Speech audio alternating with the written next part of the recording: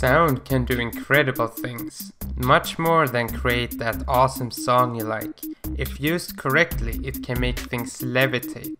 There has been several experiments on smaller objects with success.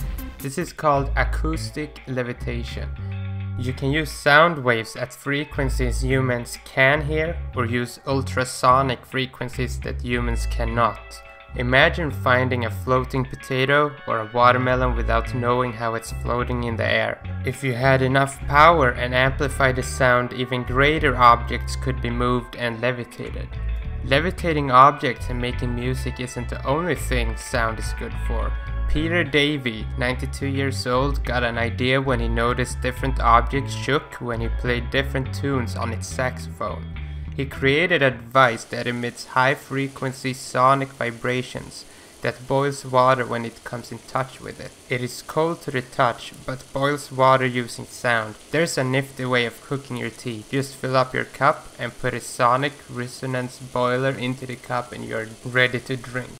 While we're talking about frequencies, in 2008 scientists figured out that viruses could be neutralized by using sound that is set to the virus's and resonant frequency. Resonant frequency is the frequency which objects naturally moves. Everything has a resonant frequency. The trick now is to figure out at which frequency the viruses get neutralized.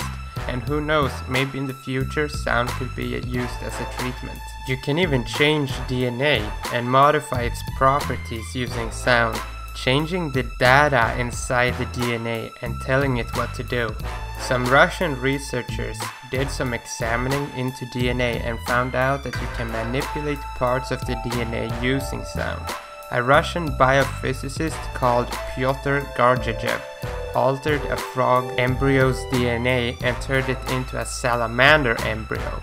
By doing just that, using sound to alter the DNA and give it the information it needed to become a salamander embryo instead. There are many more uses to sound. Keeping crowded areas clear of people or areas that are filled with people who aren't supposed to be there.